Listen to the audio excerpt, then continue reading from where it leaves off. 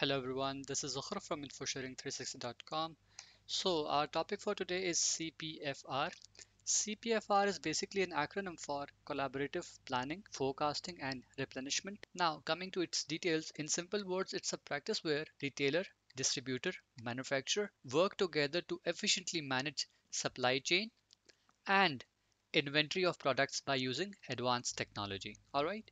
I've also displayed the basic description of this topic in case you want to take notes. Okay, so now to elaborate it further, this collaborative planning takes place among three parties that is retailer, distributor and manufacturer where these parties sign proper agreement letter, develop processes and install software and hardware at their respective locations so that real-time information regarding inventory levels is shared with each other.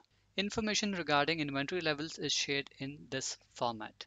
Moreover, forecast analysis are also carried out by the software based on historical data of inventory levels. As a result, if stock level of any product reaches a certain low point at retail, then an automated alarm is raised to the relevant distributor via web-based software, prompting the distributor to restock the required product to the respective retailer within a defined timeline.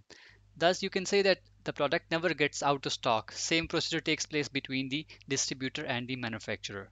Let's suppose if a product A or you can say milk has reached a certain low level at this retailer, then this information will also be displayed in these web portals to the respective distributor with the information that this retailer has this much amount left in his inventory with its location details and this information will now prompt the distributor to restock the inventory of the retailer.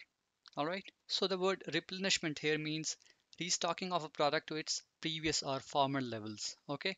Uh, the information that I just shared with you guys verbally is also being displayed over here in case you want to take notes.